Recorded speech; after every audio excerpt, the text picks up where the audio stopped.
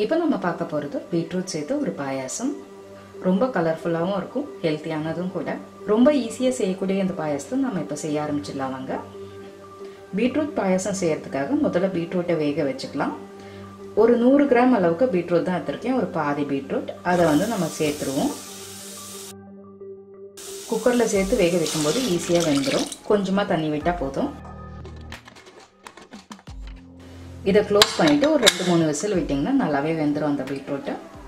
Beetroot வெந்துருச்சான்னு பார்ப்போம். Beetroot நல்லா வெந்திருக்கு. இந்த அளவுக்கு வேக வச்சா போதும்.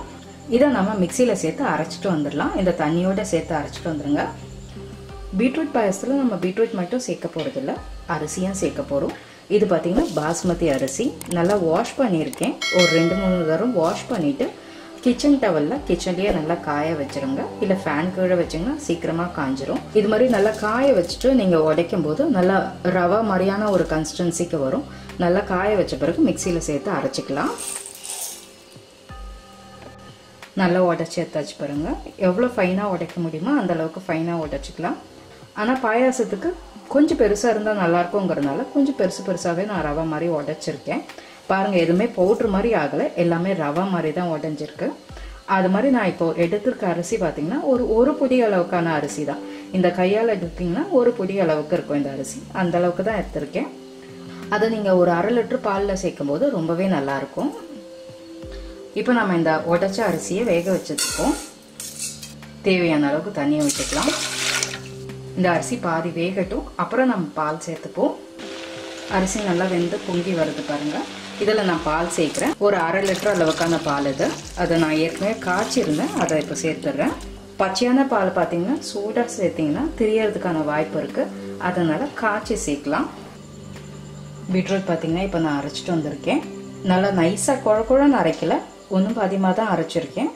அதாவது எல்லாமே அரைப்பட்டிருக்கு ஆனால் வந்து குறகுறப்பாக இருக்குது இதை நான் வேக வச்ச அரிசியோட சேர்த்துருவேன். பாலில் வேக வச்சுருக்கோம் இல்லையா அரிசி. அதில் நம்ம சேர்த்துடலாம்.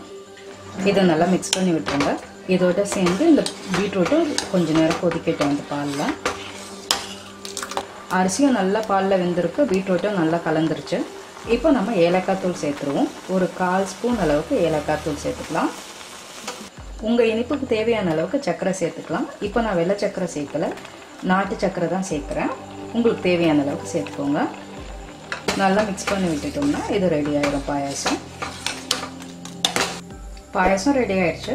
அதுக்கு தேவையான முந்திரியும் திராட்சையும் நம்ம நெய்யில் வறுத்துக்கலாம். உங்களுக்கு தேவையான அளவுக்கு நெய் எடுத்துக்கோங்க அதில் முந்திரி சேர்க்குறேன் நான்.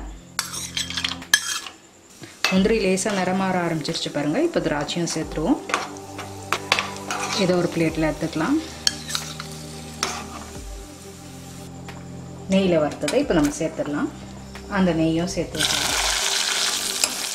அவ்வளோதான் இப்போ ஒரு சர்விங் பவுலில் நம்ம ட்ரான்ஸ்ஃபர் பண்ண ஆரம்பிச்சிடலாம். அவ்வளோ நார்மலாக நம்ம அரிசி பாயசம் செய்வோம். அதை விட இன்னும் கொஞ்சம் வெஜிடபிள்ஸ் சேர்த்து கொஞ்சம் ஹெல்த்தியாக செஞ்சுருக்கோம்.